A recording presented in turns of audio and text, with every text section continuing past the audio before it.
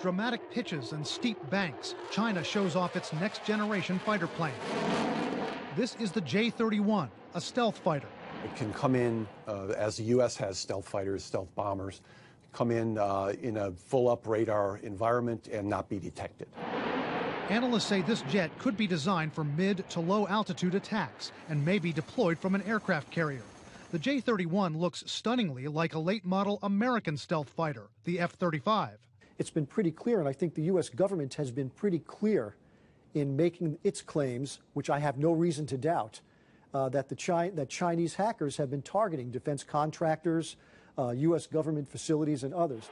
Several published reports say the Chinese got the blueprints for the F 35 through a cyber assault on a contractor for Lockheed Martin and built their fighter jet with the same specs. The Chinese have denied that. A Lockheed Martin official told us the Chinese didn't get the crown jewels, the most sensitive information about the F 35.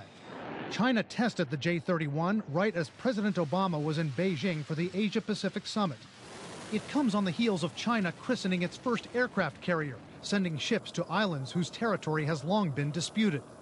Analysts say this isn't about confronting America militarily, but about reducing U.S. military influence in its neighborhood. What the Chinese military is trying to do is to be able to put their military out further from China, out into the Pacific, in the air, under the sea, and on the sea, in order to deter others from coming too close to China. It's also about prestige. It's also about the status of China.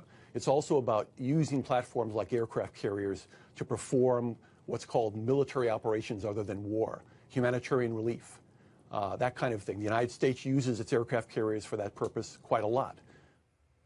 Now, analysts say China is still far behind the U.S. in pure hardware and raw military power, but they still worry that with China now flexing more military muscle, one of these two powers is going to be so concerned someday with projection of power in the Pacific that it's going to overreact in a crisis or that it might escalate what seems now to be an arms race.